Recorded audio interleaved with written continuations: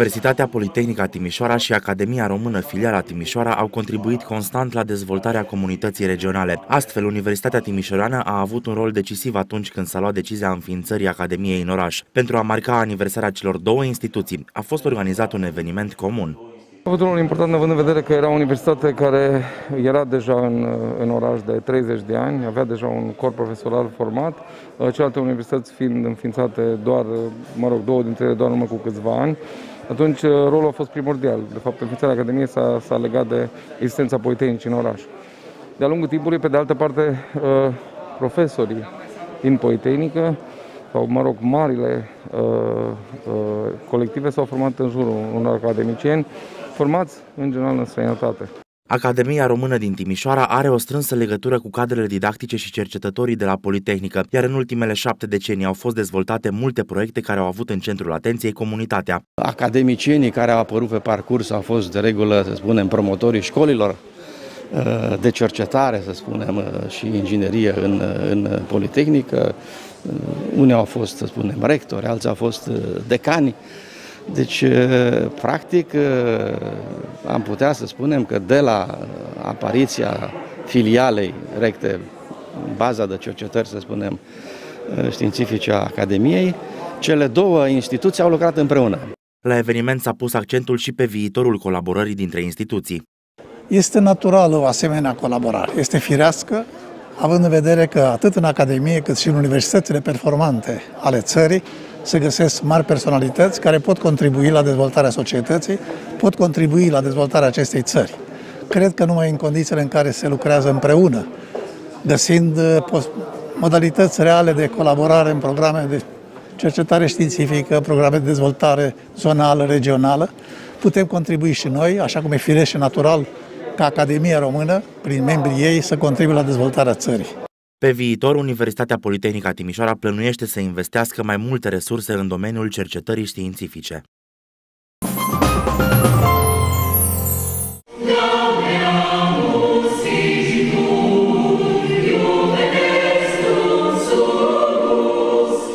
Pentru Universitatea de Medicină și Farmacie Victor Labe din Timișoara este o bucurie că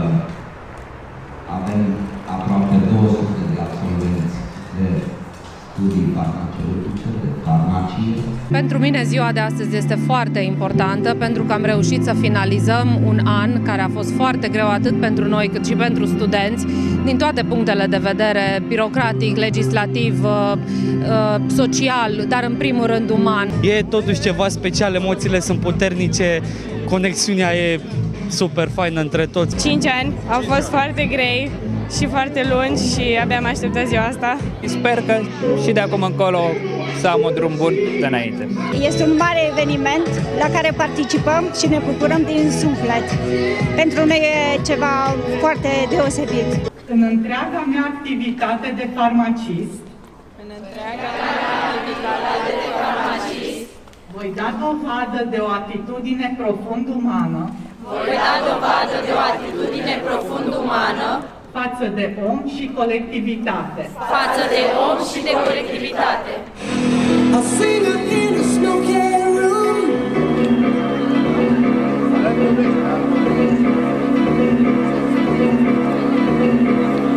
Inspirația adânc farmaciști dragi. Bucurați-vă de momentul ăsta. Sunteți tineri, sunteți frumoși, sunteți puternici, sunteți proaspet absolvenți ai Facultății de Farmacie Victor Babeș, promoția 2021. Este seara voastră.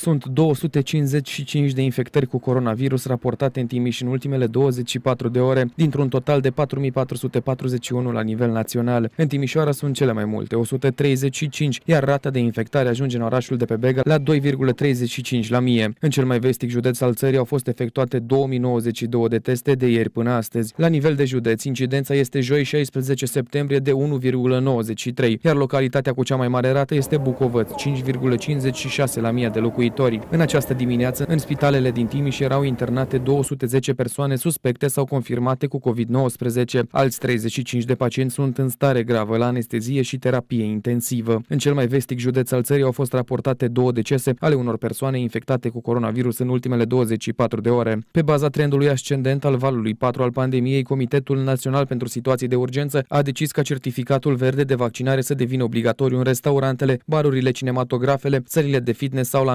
anunțile din localitățile unde rata de infectare este între 3 și 6 la mii de locuitori. Joi 16 septembrie în Timiș erau 11 localități în această situație. Printre ele se numără Dumbrăvița și Șag, comune din apropierea Timișoarei.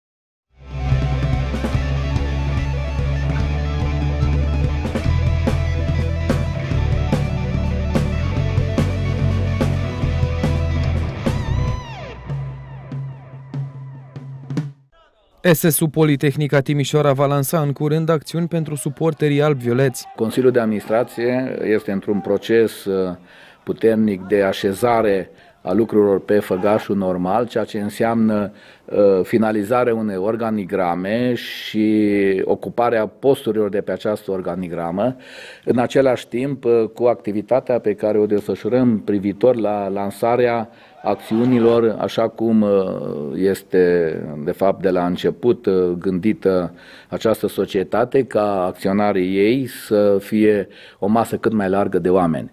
Legat de subiectul acțiuni, suntem într-o etapă finală de majorare capitalului social și probabil că uh, cât de curând uh, vor apare primele informații legate de um, pachetele de acțiuni care se vor lansa pentru iubitorii și suporterii timișoreni. Clubul Alb-Violet continuă să se întărească la nivel organizatoric. În această săptămână, Călin Rosenblum a fost numit director sportiv la club. Rosenblum a făcut parte din echipa Politehnicii care a eliminat pe Atletico Madrid în Cupa UEFA în 1990. Până în această vară, el a fost director la LPS Banatul. Pornesc cu gânduri bune și având alături staful, echipa, suporterii și, bineînțeles, bordul conducerii. Sper că tot ce ne-am realizat și ce există în acest proiect, uh, care este foarte viabil și pe termen lung, ne vom realiza toate obiectivele. Este foarte greu, e o, o societate nouă, înființată, pe alte criterii decât celelalte, cum au fost până acum, uh, dar uh, mergem înainte, căutăm pe fiecare palier oameni care pot să facă față și care sunt dispuși ca să ne ajute. În etapa 7 a Ligii a doua, Politehnica Timișoara va evolua acasă cu Cixere da Miercurea Ciuc. Partida va avea loc sâmbătă de la ora 17 pe stadionul Dampăl Timișanu. Eu încerc să construiesc aici, obiectivul meu este să facem o echipă competitivă, un lot competitiv, mai tânăr, ceea ce s-a și încercat. Încercăm de la joc la joc să creștem, dar din păcate ultimele două rezultate nu sunt uh, de partea noastră și de partea mea. Îmi doresc ca jucătorii mei să, să joace până la ultimul fluier al arbitrului, să fie capacitați, să fie uh, determinați, pentru că este păcat să pierdem minutul 92, la fel cum este păcat după ce conduci uh, un joc, unde am făcut un joc bun la Metaloglobus, după ce conduci să te întorci cu patru goluri. Poli este pe locul 12 în clasament cu 7 puncte, în timp ce Ciucanii sunt pe 17 cu 3 puncte, obținute în runda precedentă după înfrângeri pe linie în primele 5 jocuri. În sezonul trecut, ambele echipe s-au aflat în play-off.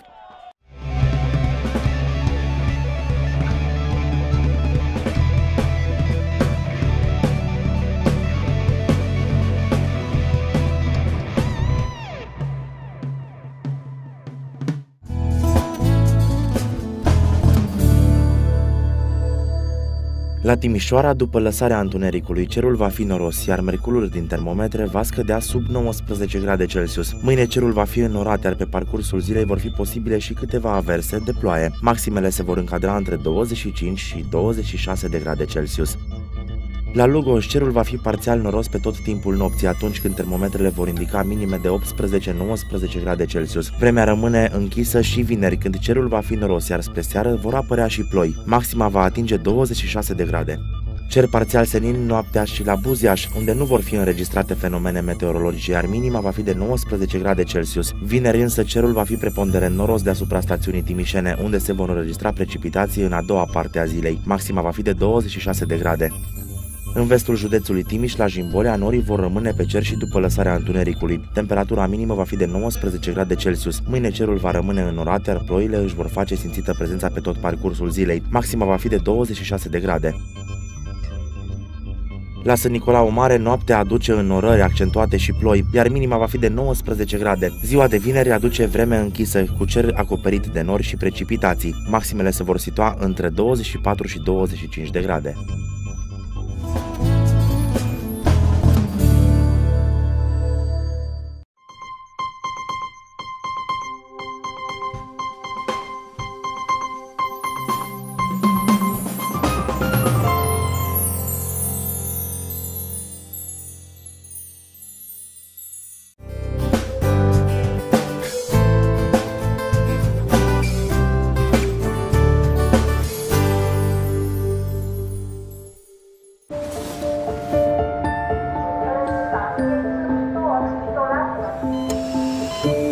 Ce ai face ca să-ți știi mereu copilul în siguranță? Copiii sunt și ei expuși la infectare și pot transmite COVID-19. Alege să-i vaccinezi pe ai tăi pentru a se putea bucura în siguranță de copilărie. O campanie a Guvernului României și UNICEF.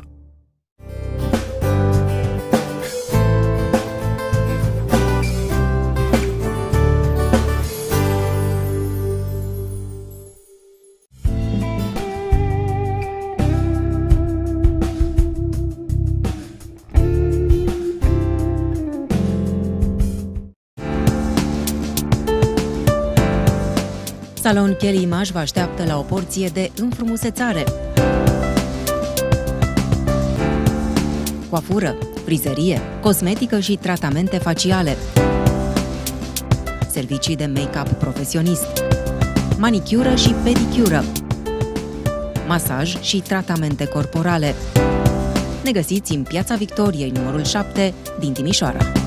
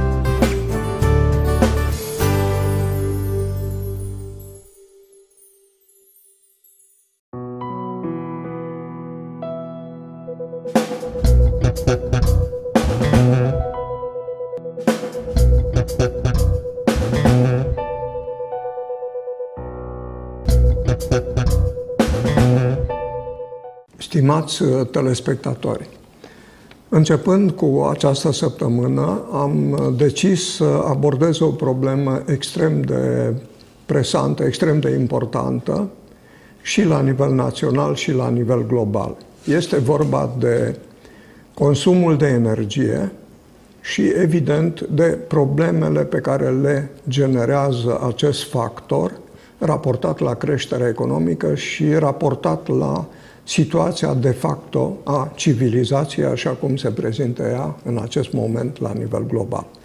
Fără îndoială, există foarte multe tensiuni în lumea contemporană, politice, economice, culturale și de altă natură, însă factorul energetic, penuria resurselor energetice, foamea de energie, reprezintă în sine o problemă pe care eu am să o prezint cât mai obiectiv posibil, uh, încercând să nu fac nicio conotație de ordin politic și prezentând uh, situația consumului efectiv raportat la produsul interbrut și raportat evident la structura resurselor.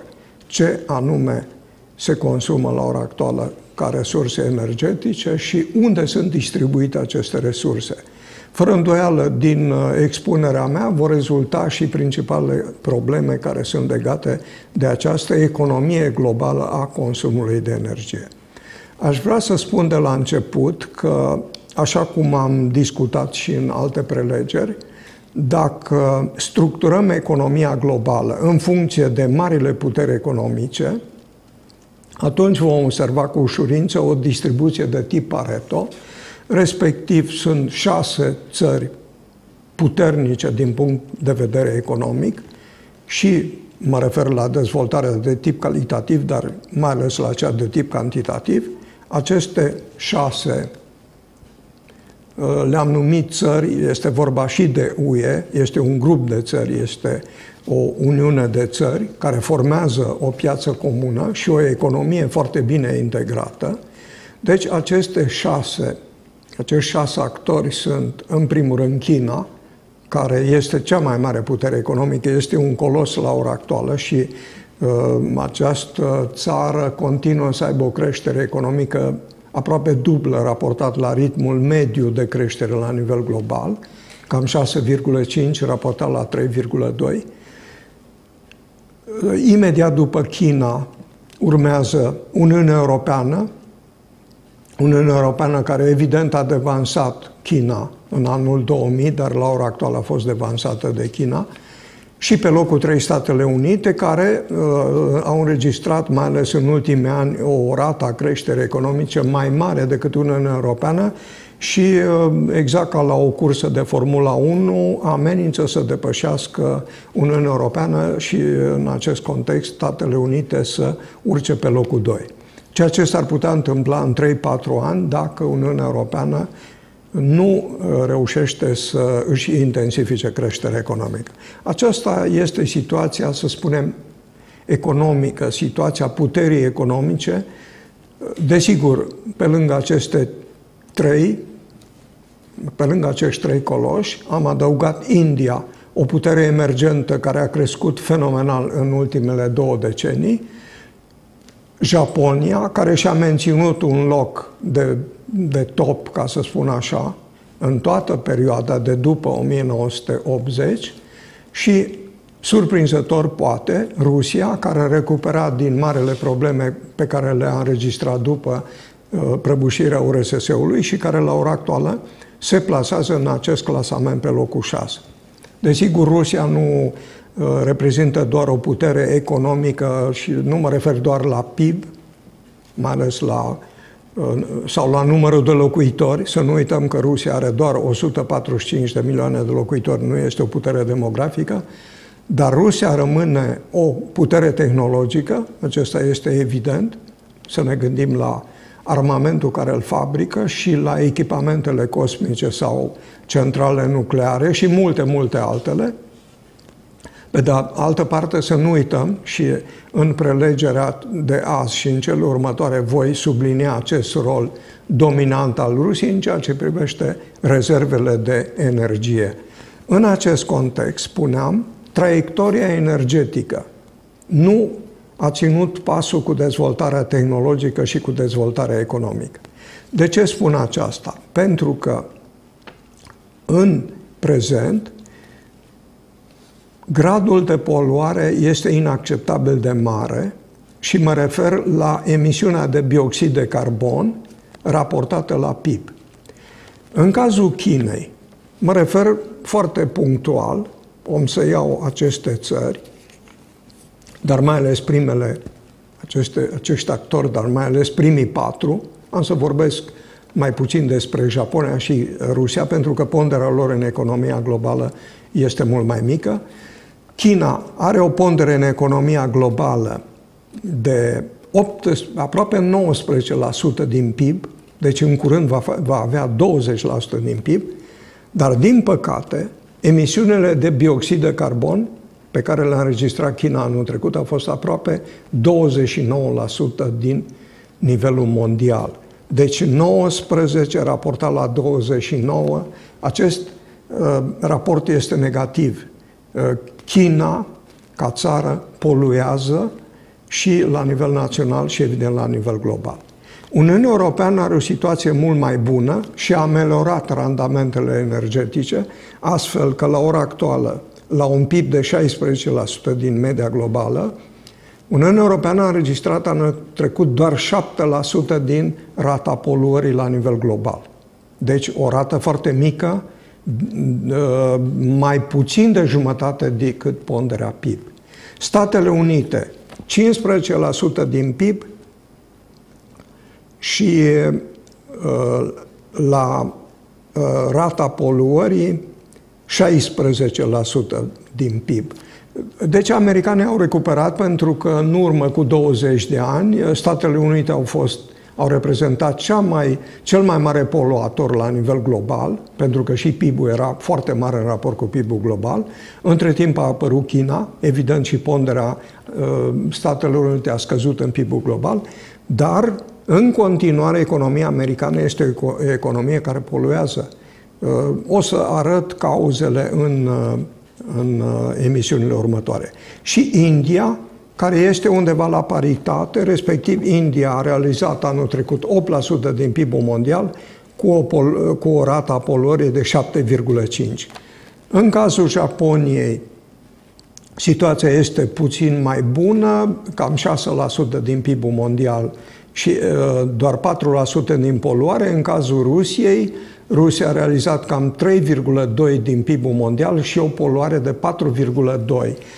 Dar în cazul Rusiei, am să arăt în, în prelegerile ulterioare, situația s-a ameliorat foarte mult dacă ne raportăm la fosta URSS, pentru că în fosta URSS energointensivitatea a fost extrem de scăzută și poluarea companiilor sovietice a fost eh, excesivă. La ora actuală, Rusia și-a ameliorat foarte mult tehnologiile energetice și productive și lucrurile au intrat într-o, într-o mm, altă Uh, într-o altă definiție în ceea ce privește economia Rusiei. Aceasta este, este situația actuală. Acum, raportat la ce se, ce se va întâmpla. Fără îndoială, asistăm la un, la un moment de inflexiune. Pentru că, la ora actuală, dacă uh, raportăm emisiunile de bioxid de carbon pe locuitor, per capita, observăm că cea mai mare poluare per capita se înregistrează în Statele Unite. Anul trecut 15,7 tone dioxid de carbon pe locuitor. Și vă rog să-mi permită să fac o scurtă uh, precizare. Uh, sunt obligat să fac asta. Există o polemică la ora actuală, cum este corect să spunem, dioxid de carbon sau bioxid de carbon. Uh, eu sunt de modă veche și nu e vorba aici de conservatorii. Uh, dioxid, dio, uh, dioxidul de carbon este un neologism preluat din limba engleză, de la americani. După părerea mea, ar, nu ar trebui folosit pentru că bioxid de carbon este mai aproape de uh, structura uh, formulei de bioxid de carbon, CO2. De ce spun asta? Uh, Prefixul di vine din limba greacă și se referă mai degrabă la o împărțire, iar bi înseamnă, de fapt, dublarea a ceva. Într-un spectacol spunem bis. Deci spunem bifurcație, spunem bicolor, nu spunem difurcație, nu spunem dicolor.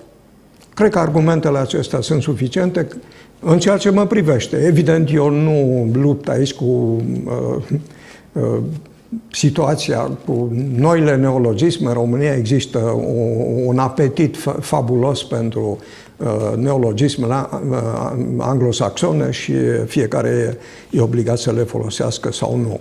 Eu sunt, de, acum am spus, de modă veche și consider că bioxid de carbon este o, o, un termen mai potrivit decât dioxid de carbon, mai ales că vine și din limba latină. Deci este Uh, perfect uh, compatibil cu tradiția limbii române și cu tradiția științifică de tip uh, francofon pe care am avut-o în trecut. În acest context, al doilea poluator, mă refer la dioxidul de carbon în tone pe locuitor, este Rusia, cu aproape 11 tone. Această să spunem, poluare excesivă a Rusiei este mult mai mică raportat la anul 2000, când în Rusia se înregistrau 15 tone, iar în Statele Unite 21 de tone. Deci, vreau să subliniez, cu toată criza energetică care se prefigurează, este evidentă contribuția uh, guvernelor și a țărilor de a-și ameliora, să spunem, randamentele uh, energetice și mai, mai ales randamentele de, conserv, uh, de, de conversie. Acum, ca să raportăm acest indicator maxim, acest nivel maxim al poluării cu nivelul global, la nivel global, s-au emis anul trecut 4,5 tone bioxid de carbon pe locuitor al planetei. China, în China s-au emis 7 tone, în Uniunea Europeană tot 7 tone. Atenție, deci China poluează în raport cu PIB-ul, dar nu în raport cu numărul de locuitori. Ceea ce spune multe chinezii, totuși nu folosesc tehnologii rudimentare, o să vedem de ce poluarea la ei totuși este mai mare raportat la, la PIB în săptămâna, în prelegerea viitoare voi explica acest lucru. Iar în India uh, avem cel mai mic nivel din, din rândul acestor șase actori, uh, două tone per capita. India nu are încă probleme legate de poluare, dar și Uh, gradul ei de dezvoltare nu este, uh, să spunem, semnificativ raportat la potențialul ei. Și, în sfârșit, am să mă raportez, am să mă refer și la țara noastră, pentru că este interesant să vedem ce s-a întâmplat cu România după anul 2000. În anul 2000, România realiza un produs intern brut de 0,36% din PIB-ul mondial. Desigur, uh, acest 036 nu spune nimic, uh, România nu este are doar 19 milioane de locuitori, dar semnificativ, în anul trecut, ponderea PIB în PIB-ul mondial la România a crescut la 0,38. Acesta este un rezultat excepțional, după părerea mea, pentru că Uh, PIB-ul mondial a crescut, uh, a înregistrat o dinamică foarte mare de peste 3,2%. În acest context, rezultă că România a avut o dinamică și mai mare decât acest 3,2% în ultimele două decenii. Ceea ce eu am mai spus și cu alte prilejuri este un fapt remarcabil și ar trebui să-l conștientizăm. Pe de altă parte, consumul total de energie deci mă refer la combustibilii fosili și la sursele generabile, energia atomică și așa mai departe, centrale atomice, uh, au înregistrat următoarea dinamică de la 0,38% din consumul mondial, deci mai mare decât PIB-ul 0,36%, acest consum total de energie a coborât la 0,24%. Deci este o performanță, eu aș numi o excepțională fără falsă modestie, fără orgolii patriotice. Deci ne găsim într-o situație favorabilă. În România uh, putem să, să dormim liniștiți, nu există factori poluanți și uh, excesivi și situația dramatică din anii 80, în condițiile unei industrializări extensive, s-a ameliorat. Deci am scăpat de acest pericol. În ceea ce privește emisiile de bioxid de carbon, ai situația este și mai bună. Acestea au scăzut de la 0,37 la, uh, din media globală la 0,21.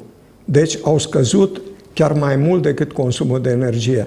Deci în România se folosesc la ora actuală tehnologii mult mai performante, uh, s-a renunțat mult la energia obținută din cărbune, Energia obținută din petrol ca pondere a scăzut și a scăzut ca și cantitate. Uh, cantitatea de, de petrol pe care o folosim este mult mai mică și în acest context randamentul energetic al României este un uh, randament mult, mult mai bun decât în 1900, să spunem, 89. Uh, acest randament îl putem măsura dacă împărțim produsul intern brut la o tonă echivalent petrol. Nu am făcut aceste calcule, dar raportând mediile la nivel global, acest lucru este evident. Vreau să spun că în țara noastră, ca să dau o ultimă cifră esențială, anul trecut s-au emis 3,7 tone bioxid de carbon pe locuitor, raportat la o medie mondială de 4,5. Deci suntem sub media mondială, care este un parametru încă foarte bun, dacă ne raportăm la 5, la 16 la americani sau la 11 la ruși. Deci 3,7 este un parametru foarte bun, mai mic decât media europeană, pentru că în UE, așa cum am arătat, emisiunile de, de bioxid de carbon per capita sunt de, au fost anul trecut de 6,8 tone, aproape 7 tone, iar în România doar 3,7. Sunt foarte bucuros că am putut să vă semnalez aceste rezultate pozitive în ceea ce privește România, cu închei cu o, anumit, cu o anumită notă de, nu de pesimism, dar de luciditate.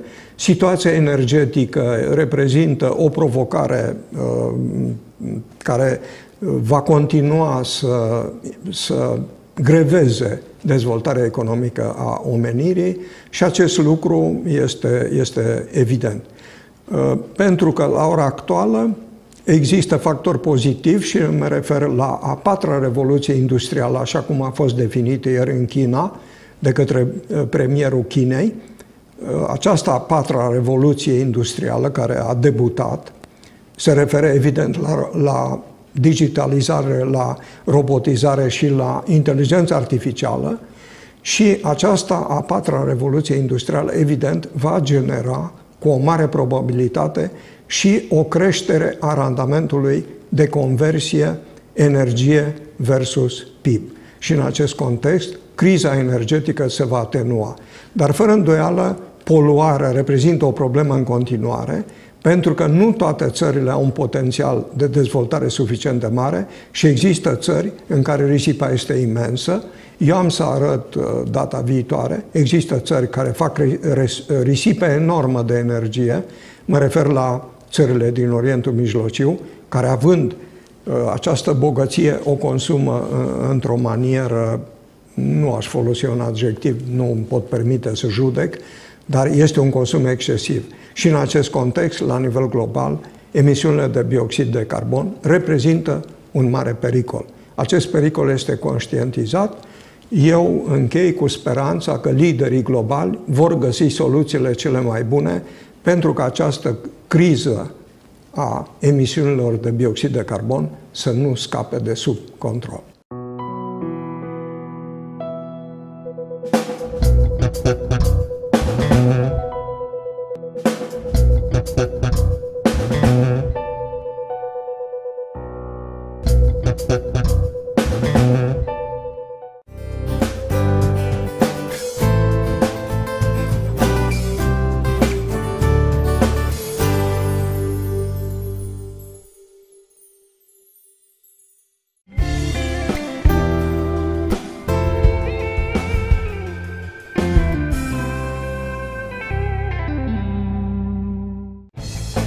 Place să citești? Ești pasionat de gastronomie? Vrei să fii mereu un pas cu moda? Teleuniversitatea te ține în trend. Urmărește rubricile Politehnica 360 de grade în fiecare vineri seara.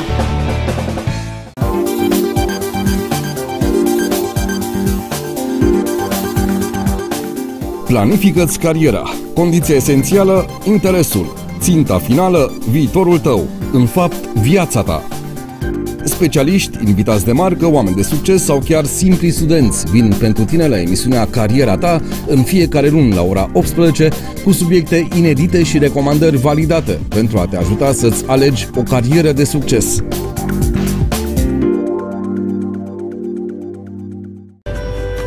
Timișoara este cultură. Deschide-te, lasă locul să-ți vorbească. Fi la curent cu viața artistică a orașului. În fiecare vineri, la Timișoara Culturală, cu Tudor Crețu.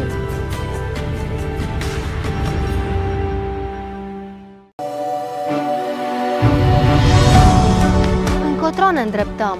Fiecare dintre noi are propriul cel, dar până să ajungem acolo, ne alegem calea.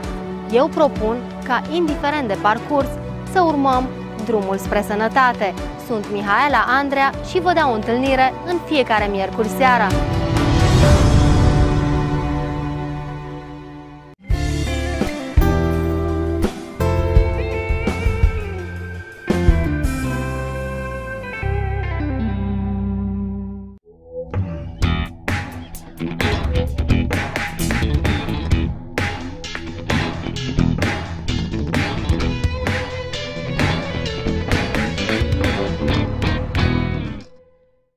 Dragi prieteni, la emisiunea Studenții de ieri.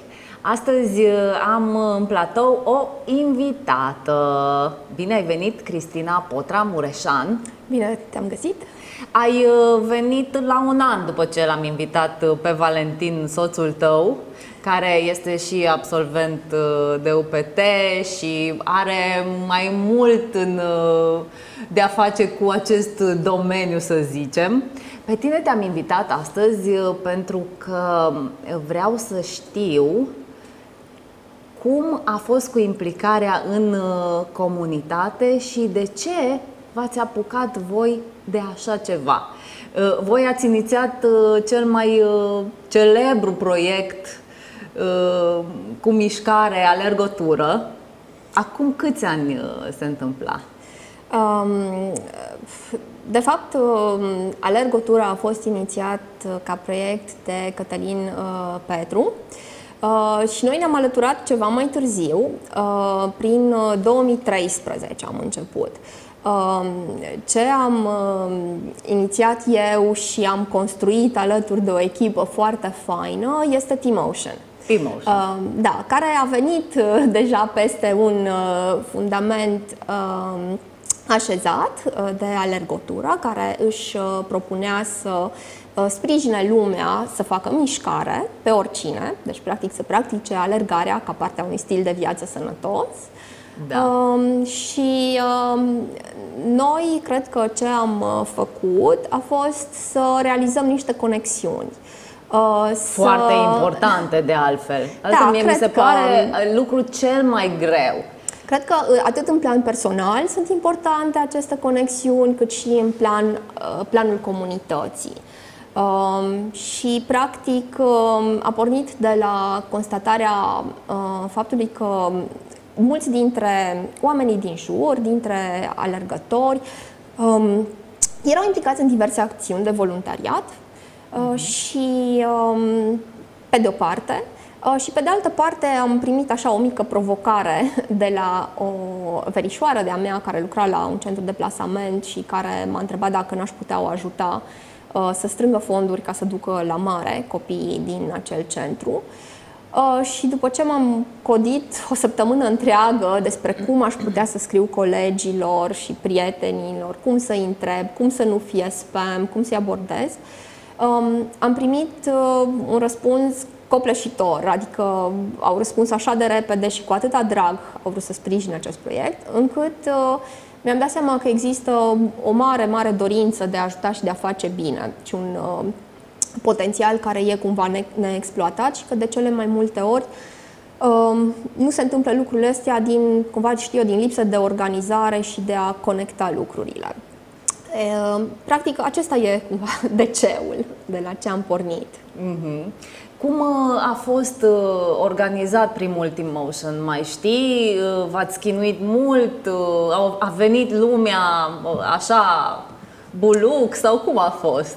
Um, că tot, toată lumea vrea să alerge, să se implice în Da, da, da. Păi nu, mi-am foarte bine, pentru că um, știi cum e prima dată când faci ceva și pentru noi în organizarea acelui prim Team Motion chiar uh, Aproape tot ce am făcut, am făcut pentru prima dată um, în acel context, de la a crea o pagină de Facebook ca pagină, nu cont uh, personal, la a învăța să cer sponsorizări, la a avea de face cu autoritățile pentru autorizarea evenimentului, totul era nou.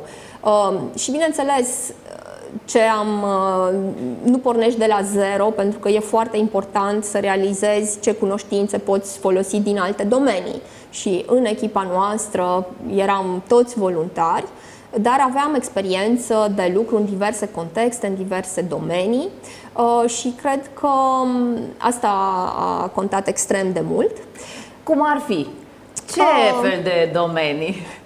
În mare. Da, da, da. Păi uh, mai mulți din IT, uh, medic stomatolog, uh, cineva care cred că la momentul respectiv chiar uh, era între joburi. Uh, da, încercam să mă gândesc așa de la început. de oameni, să ne înțelegem, nu da, ați da, fost, da, nu știu, fost, nu câți... știu, vreo 6, 7, Așa, cam pe nu acolo era, inițial, da, nu era producție într-o multinațională, adică vreau să zic um, da, da client uh, și supply chain management, da, am, am, am avut diverse cunoștințe, dar ce vreau să spun este că am, adică și persoane foarte tinere, Uh, și persoane trecute de 40 uh, de ani și persoane care n-au lucrat în viața lor într-o corporație și persoane care erau în poziția de, să zicem, uh, management director la o multinațională și a fost o experiență foarte faină, pentru că n-a fost despre ierarhii, ci despre ceea ce fiecare poate să aducă.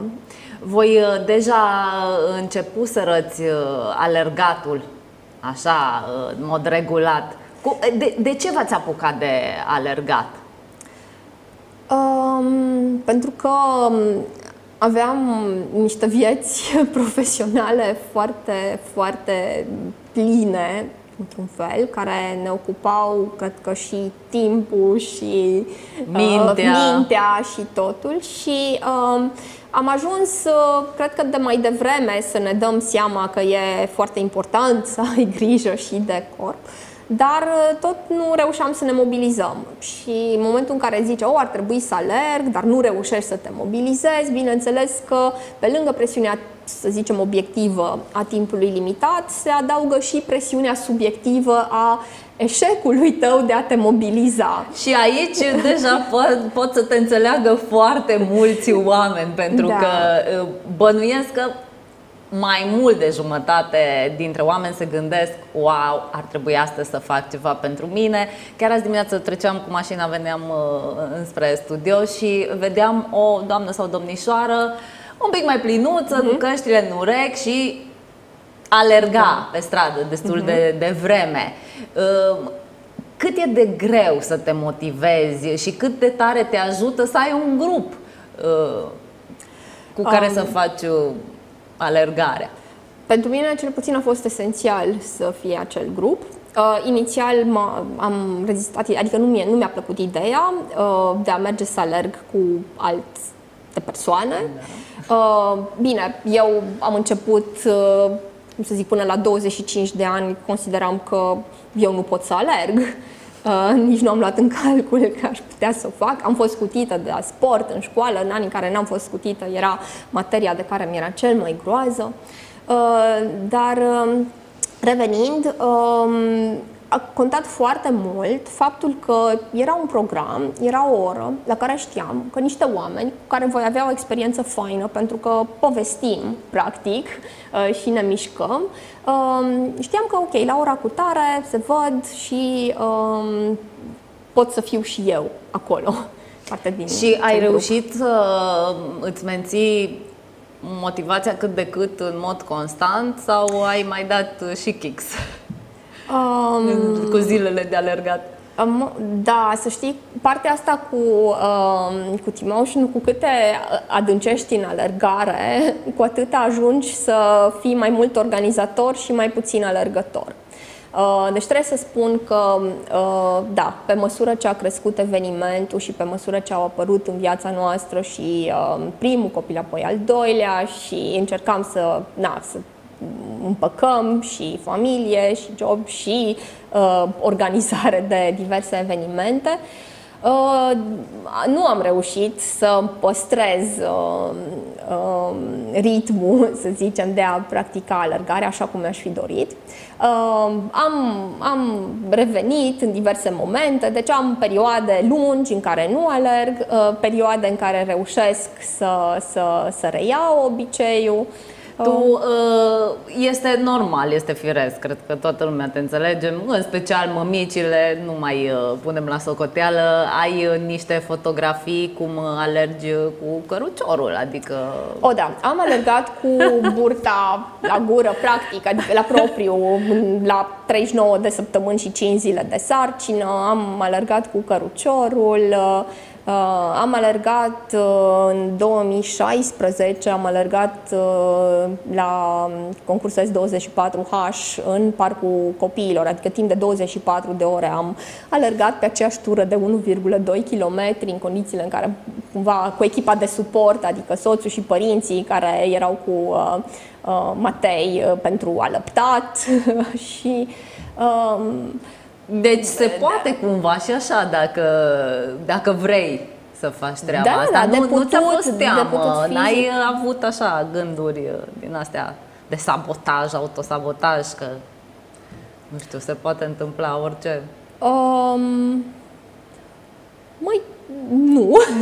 nu. Adică mie mi se pare că de, de obicei temerile sunt și cel mai greu este până te hotărăști să faci un lucru, până te hotărăști să începi. Și odată ce cumva ești acolo, um, na, chestia se, se întâmplă fain. Și în principiu, um, cred că ce m-a ținut sau ce m-a atras și ce m-a făcut să fac lucrurile era pur și simplu pentru că îmi plăcea ideea uh, sau îmi plăcea contextul în care erau, uh, erau lucrurile. Am ținut neapărat, dar neapărat să facem această introducere uh, cu alergatul, în primul rând pentru că eu țin la partea asta de sănătate. Uh-huh. Mișcarea te ajută și psihic, și uh-huh. emoțional, și fizic, deși poate nu ți-ai dat seama înainte și nici în timp ce o faci, okay. dar te ajută foarte tare. În al doilea rând am ținut să ne povestești un pic despre Team Motion și să știe lumea că și tu ești în uh, spatele uh, și printre cei care au pus uh, lucrurile pe roate la un asemenea eveniment care deja este de amploare. Uh, da, de fapt m-am ocupat de coordonarea evenimentului uh, la edițiile 2015 până în uh, 2019. Uh, în 2020 am început transferul um, rolului de coordonator. Normal. Și anul Era acesta am participat la T-Motion doar ca participant la două curse și m-am bucurat de treaba excepțională pe care au făcut-o uh, colegii mei care au preluat uh, partea de organizare. Tu împreună cu soțul tău și alți oameni uh, v-ați ocupat și de refacerea, reconstruirea, reconstrucția, uh, rebranduirea unei clădiri în Paragin, în Timișoara, la vremea aceea. Uh-huh. Este vorba de fabrică, fosta fabrică de săpunuri și vopsele erau pe acolo. Uh-huh. Cum Dumnezeu de ați vrut voi, cum v-ați gândit cine a venit cu ideea asta? Ce, ce vedeați acolo? Um, eu cred că care acum este un loc, pentru că nu avem voie să-i spunem numele, Așa, dar este da. un loc de evenimente și de întruniri și este foarte efervescent da, pe partea asta de comunitate. un centru cultural care își propune să, um, să, să, punem colabora, să pună colaborarea și să creeze condiții pentru colaborare. Uh, în uh, diverse contexte, de la viața, știu eu, de la muncă, de la uh, viața profesională, la uh, viața socială și la cea personală. Deci de la evenimente, la coworking, la uh, tot felul de proiecte uh, pentru societate se pot întâmpla acolo. Da.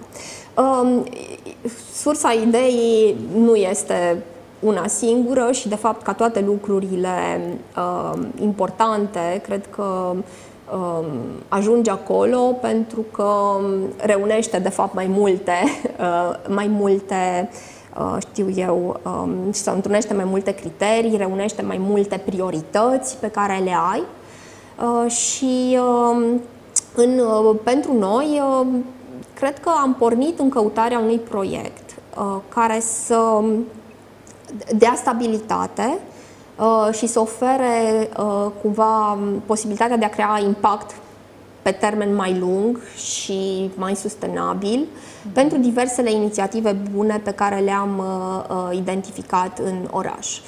O parte la care am fost și noi implicați și altele în care nu am fost, dar uh, am ajuns să conștientizăm că uh, să lucrezi cu alte, să faci proiecte, e foarte fain, dar este, uh, sau evenimente, sau, um, știu diverse programe, um, se, se, se obțin niște lucruri foarte faine, dar pe de altă parte e necesar o cantitate, foarte, o energie foarte multă se irosește făcând setup-ul, făcând partea de pregătire uh, și este foarte greu um, să-l faci astfel încât să și rămână lucruri importante în urmă își au rolul lor și cumva sunt esențiale, dar pentru a duce la schimbări profunde um, și durabile, cred că e nevoie um, să aducem genul acesta de inițiative și de, de um, oportunități în normalitate și în cotidian. Crezi că voi ați, aveți extra doză de curaj pentru că nu mulți oameni se apucă așa să vină să facă? Ce, ce ai nevoie când uh, te cred apuci că, de asemenea proiecte? Cred că ai nevoie, în primul rând, de încredere. Uh, îți trebuie mm, încredere cumva și în tine uh, și încredere în cei din jur. Și îți trebuie, cred că, o, pentru noi, cel puțin, um, a fost un uh, proces, sau pentru mine, uh, cumva un proces în care am spus uh, ne înhămăm la un drum extrem de lung și extrem de greu, în care nu avem neapărat garanții că lucrurile vor ieși așa cum ne dorim. Dar pe de altă parte m-am gândit îndelung și am cântărit foarte bine și am căutat să văd ar exista altceva mai bun pe care cred că aș putea să-l fac acum, um, care să dea o șansă mai bună să obțin ceea ce doresc. Um, și când zic aici de dorit, este cumva de schimbarea pe care aș vrea să o văd uh, în jurul nostru sau de uh, pur și simplu ce, ce punem noi în lumea din jur. Uh, și nu am găsit altceva mai bun. Și atunci am spus, ok, cred că este calea cea bună. Um, și uh, în momentul am zis, ok, ce resurse avem, o să le punem la bătaie pentru, pentru asta. Crezi că te-au ajutat uh, studiile în străinătate? Pentru că tu nu ai făcut uh, o facultate în România și chiar da. eram curioasă să aflu unde ai făcut facultatea uh-huh. și cum te-a ajutat uh, la uh, setarea mentală și la uh, cum vezi lumea și câtă încredere ai în tine, până la urmă mhm. că veni vorba de încredere. Da, cred că uh, facultatea, într-adevăr, a avut o contribuție foarte importantă. Uh, ca orice lucru e, să zicem, schimbarea e o chestie de proces. Uh, așa că nu cred că doar facultatea în sine și au trecut mulți ani de când am făcut eu facultatea și vorba aceea, poate că impactul uh, nu s-a văzut sau nu neapărat imediat, au trebuit diverse lucruri să se mai coacă. Uh, dar, da, uh, cred că facultatea m-a învățat să mă concentrez pe, cumva să fiu mai pragmatică, Uh, de exemplu, uh, eu am făcut primii doi ani în Dublin și uh, ultimii doi la Dublin City University, ultimii doi în Franța, la um, pe vremea aceea se numea Rans, Rans Business School, acum este Neoma Business School. Deci pentru afaceri. Da, exact. Mm. Sunt, am făcut studii europene de management Um, care cumva uh, m-au ajutat, în primul rând, prin felul în care era construită curicula, pentru că um, cele două experiențe în Irlanda și în Franța se completau, făceau parte din același parcurs, la final primeai o diplomă de la ambele instituții. Uh, și deci era și acest aspect cumva internațional, multicultural uh, implicat. Uh, pe de altă parte, Am uh, lucrat foarte mult pe proiecte, adică toate evaluările, cred că dincolo de anul întâi de facultă, dar începând, începând chiar din anul întâi, erau pe proiecte de grup. Ei, și în momentul în care deja din facultate ai de gestionat concomitent, poate 5, 6, 7 grupuri uh, cu care trebuie să livrezi proiecte împreună, în momentul în care evaluările tale sau munca pe care trebuie să o faci are de cele mai multe ori la bază uh, studii de caz și uh, cerința de a elabora tu mi-amintesc, de exemplu, la mm, Deci nu finanțe. făceați doar teorie, nu, asta nu, vrei să-mi spui, exact, de lucruri teoria... concrete prin care se trece, da, nu da, da, numai așa da, din da. Uh, și teoria era, era cumva o introducere, uh, dar uh, extrem de puțin, puțin. au fost evaluați pe redarea, reproducerea sau interpretarea teoriei sau pe construirea de um, de, știu eu, um, procese teoretice de da. gândire, adică trebuia să și livrez ceva. Ce m-a mai ajutat extrem de mult a fost faptul că pentru licență uh, am început, a trebuit să începem munca în anul 3, în octombrie al anului 3 de facultate și cumva ți se poate părea că ai tot timpul din lume. Uh, și ni s-a cerut să venim cu un proces pe care eu după aceea l-am regăsit uh, uh, când uh, soțul meu își făcea doctoratul și mi-am dat seama că exact același proces de ați uh, stabili un câmp de cercetare, de, a, um, de a-ți defini câmpul de cercetare, de a-ți uh, um, alege tema și după aceea de a dezvolta niște ipoteze, dar pentru care ai muncit, adică uh, cu rapoarte, cu niște pași intermediari, cu interviuri pe care a trebuit să le faci, cu muncă de cercetare, practic procesul ăsta, care a durat aproape 2 ani, um, a fost extrem de util și extrem de fain, de fapt. Um, și mi-am dat seama că m-a ajutat ca demers de gândire și ca și mecanism uh, pe care să-l aplic uh, și în viața de zi cu zi și în diverse alte contexte când se pune problema să, nu știu, emit o părere sau să Uh, fac o alegere, să iau o decizie. De altfel, uh, tema pe care m-am axat a fost procesul de luare a deciziilor. Și a și funcționat acum în uh, cazul proiectelor de succes pe da. care le aveți și în care ești implicată.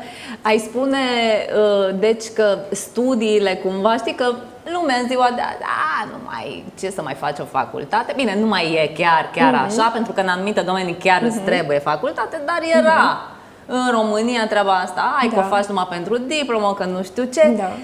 Cred totuși că această educație, această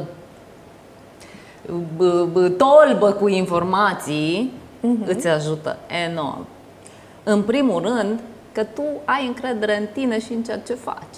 Da. Și la ce le spui celorlalți. Da.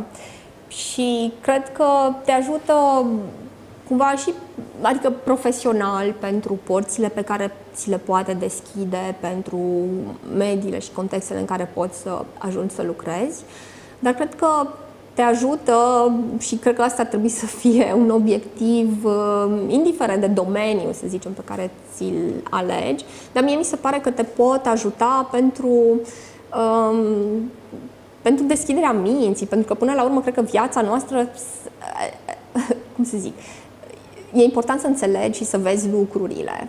Um, atâta. Cumva mie mi se pare că um, capacitatea noastră de a, cumva de a trăi, de a înțelege, de a, um, de a, și felul în care ne conectăm până la urmă de, la lumea din jur, uh, depind foarte mult de cât uh, reușim să înțelegem, cât suntem dispuși să înțelegem.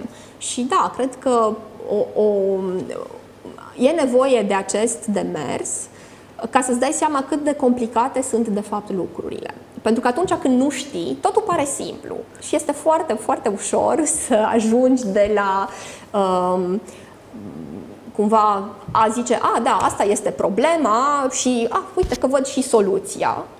Um, este, uh, cred că, parcursul cel mai ușor și cel mai la îndemână. Um, și Totuși, um, nu cred că este cel mai, cel mai sănătos și asta de obicei demonstrează rezultatele. Um, da, um, ca să-ți ca să, să zicem, să, să poți să faci lucruri, trebuie cumva să te adâncești în complexitatea lor, să-ți dai seama de câte lucruri nu le știi și mai ales să începi să-ți dai seama uh, ce întrebări să-ți pui, uh, ce răspunsuri merită să cauți uh, și cum să faci asta. Îți mulțumesc pentru prezența în uh, platou și că ți-ai făcut timp. Din păcate a expirat timpul și da, primim da, da. semne disperate da, da, da. că nu mai avem timp. Uh, Cristina Potra Mureșan, uh, T-Motion și alte proiecte pentru comunitate. Îți doresc mult succes în continuare. Mulțumesc asemenea. Ați urmărit emisiunea Studenții de ieri. Eu sunt Silvia Gerasim și până data viitoare aveți mare grijă de voi. La revedere!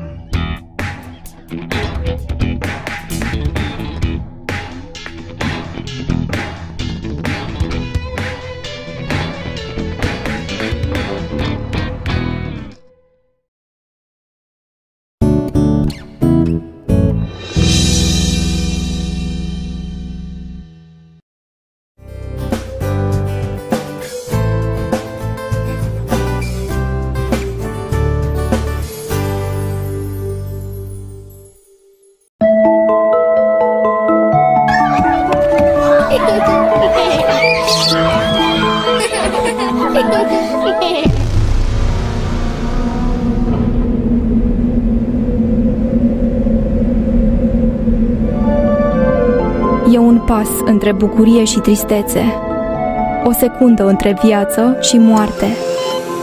E o alegere, a ta. Alege viața. Donează sânge.